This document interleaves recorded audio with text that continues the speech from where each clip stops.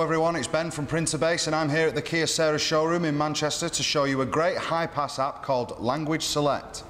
Now Language Select is an application on every HyPAS enabled Kyocera machine that allows you to change the language of the printer's display.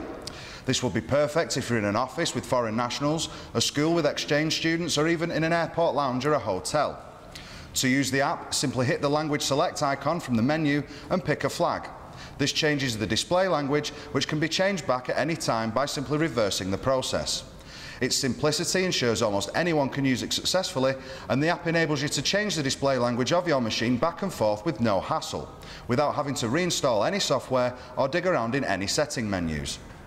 If you have a need for it, it's genuinely worth looking into as it's almost guaranteed to save time as well as any embarrassment.